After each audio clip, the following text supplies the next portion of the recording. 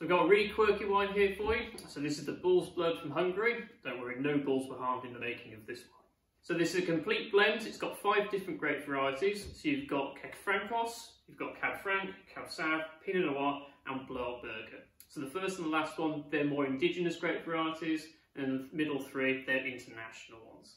So it's quite a mixture of flavours coming on because each grape variety imparts its own flavours. So you've got lots of dark fruits, dark cherry, blackberry, blueberry.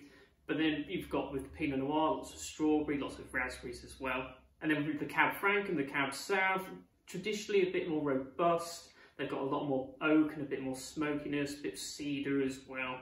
So it's a real complex wine here. If you're struggling to find like the wine pairing with like Indian food, really spicy food, this is the way to go because it's all got that really nice fruitiness to it, but then all the smoke and the cedar and the spice as well can really counteract that.